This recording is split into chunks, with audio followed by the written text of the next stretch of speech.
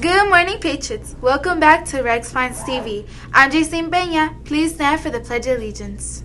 I pledge allegiance to the flag of the United States of America and to the republic for which it stands, one nation, under God, indivisible, with liberty and justice for all.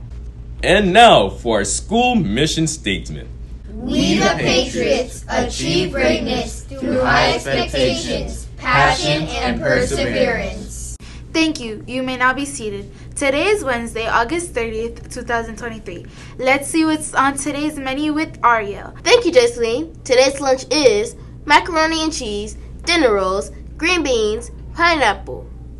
And tomorrow's breakfast is donuts, cereal, oranges, and apple juice. Students, please know that the lunch menu can change anytime and to always bring your lunch card. And don't forget to inform your teachers if you will be receiving lunch today. Bon appetit! Now let's go back to Jaceline.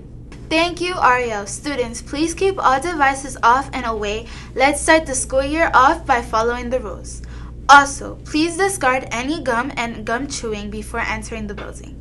And here's your daily reminder to go to myschoolbucks.com to pay the $28 for dress down. Great news, Patriots! Tomorrow, girls volleyball team will have their first game held here at Rex Pines at 4 p.m. Make sure to come and support them for good luck. This year instructional software challenge has been presented.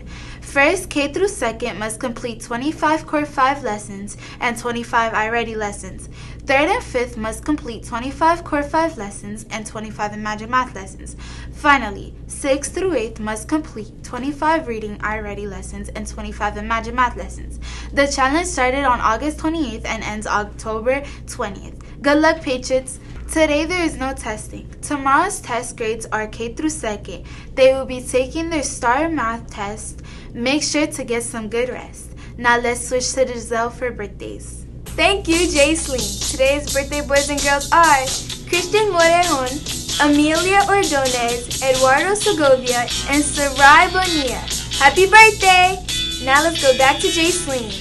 Thank you, Giselle. Patriots, here are your PAT's expectations. It represents present yourself positively, act kindly towards others, treat the school's environment respectfully, and succeed at everything. Everyone at RPTV would like to wish you all a well received Wednesday. Have a great day!